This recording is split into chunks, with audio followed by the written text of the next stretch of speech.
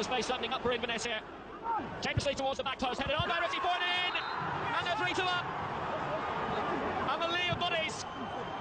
But Caley have taken the lead with 8 minutes to go. It's a massive rescue. But I'm a brave piece of goalpoaching from Greg Tansey. His first goals, his first brace since arriving from Stockport County, for whom he got 11 goals last season. Top scorer is they dropped out of the Football League. But Inverness now are trying to get into the top half of the table.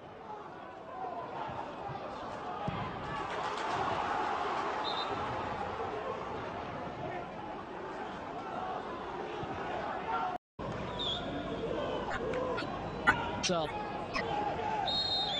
it's a massively coordinated wall. Will he go direct though? He went for it. Oh, what a goal for 3-3! Martin Hardie!